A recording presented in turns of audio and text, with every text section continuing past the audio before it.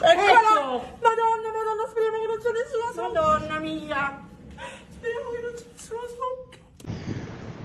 Giornata campale, quello che sta vivendo Napoli ancora in queste ore, ombrelloni che volano, stamattina un'intera impalcatura di un fabbricato di quattro piani in Vianello Falcone collassata su se stesso sotto la spinta possente del vento che sta viaggiando ancora adesso a 40 km orari.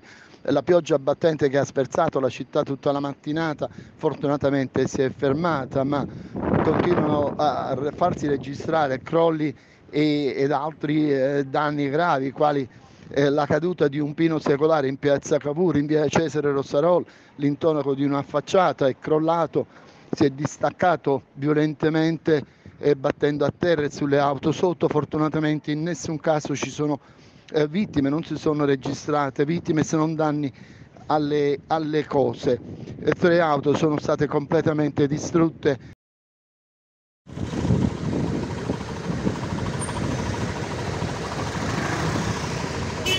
Anche Salvatore Rosa ha pagato il, il suo pegno, eh, un'intera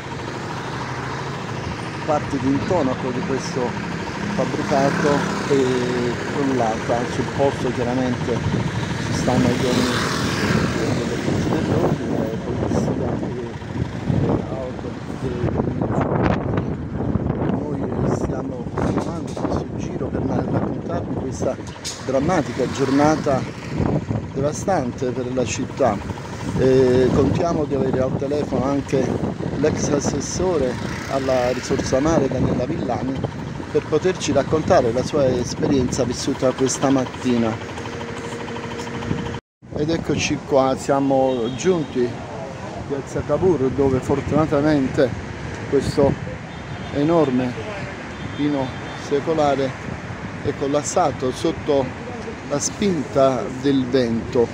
Solo per miracolo non ci sono state eh, vittime o feriti, eh, molti danni, tre le auto completamente distrutte e dobbiamo dire che sul posto sono immediatamente arrivati i soccorsi per verificare la, la situazione e lo stato delle, delle cose. Questa è una, uno dei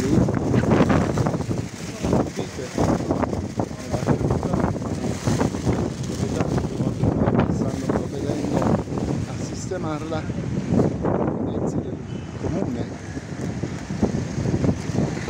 la polizia urbana per i rilievi del caso, così come è accaduto anche in via Agnello Falcone per verificare se ci stanno delle responsabilità, un atto dovuto sono eh, immediatamente giunti sul posto.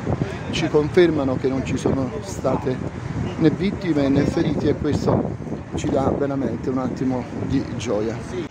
Siamo in collegamento con eh, l'ex assessore alle risorse eh, del mare, dottoressa Daniela Villani, che stamattina è stata testimone e quasi vittima di uno di questi tanti crolli che si sono eh, verificati. Dottoressa, se ci racconta gentilmente quello che è successo. Buongiorno, buongiorno a voi. Sì, purtroppo stamattina a Napoli, in via Santa Caterina da Siena, l'ennesimo cornicione è crollato davanti ai miei occhi e solo, diciamo, veramente per fortuna non si è evitata la tragedia. Diciamo che io ero a un secondo dal crollo, infatti ho ingoiato la polvere di tutti i calcinacci che sono caduti dal quinto o sesto piano di quel palazzo antico e che era naturalmente in evidente scarsa manutenzione, anzi direi totale.